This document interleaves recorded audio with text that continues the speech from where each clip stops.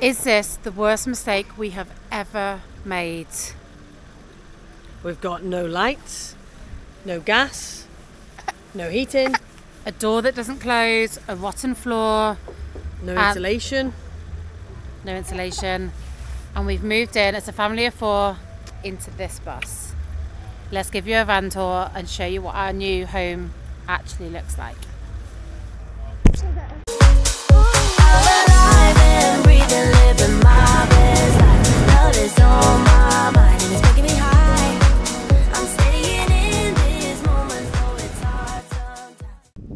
Is door. It's beautiful, but it's really hard to open and even harder to close. Come on in. Our shoe rack. It's muddy, it's rainy, there's mud on the floor, but let me show you what we do have. This is our makeshift kitchen. We have to cook on a barbecue stove, and these are borrowed tables. Thank you for everyone that lent us stuff. We have these wires. Look at the beautiful wiring.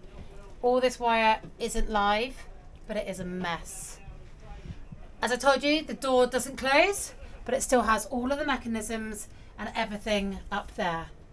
That's all coming out. And then welcome to our beautiful bedroom area. This is where we all sleep. So far, it is two mattresses on the floor. And talking about the floor, this floor is damp and it's rotten. And if I do this, I can hear it clicking and it might possibly go through if I keep doing it. And also, let me show you under here.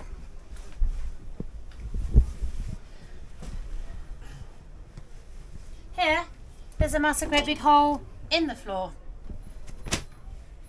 And then as our luxury wardrobes, we use boxes of clothes.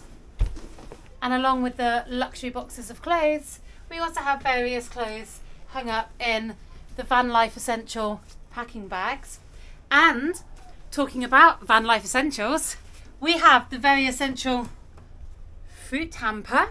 Gotta have one of those if you want to be hashtag van life.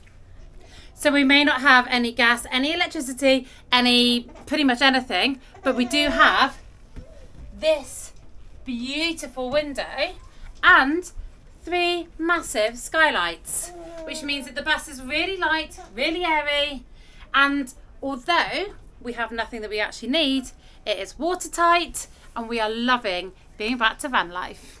This is how we are living at the moment in our not even half built Mercedes Vario library bus as a family of four.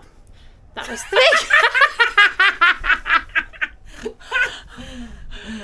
this and this is how we are living in our not even half built, completely not built Mercedes Vario library bus as a family of four. If you want to see more of the build, then please follow our channel, like, subscribe, and ring that bell. And it'll make Bodhi happy. This is our bus.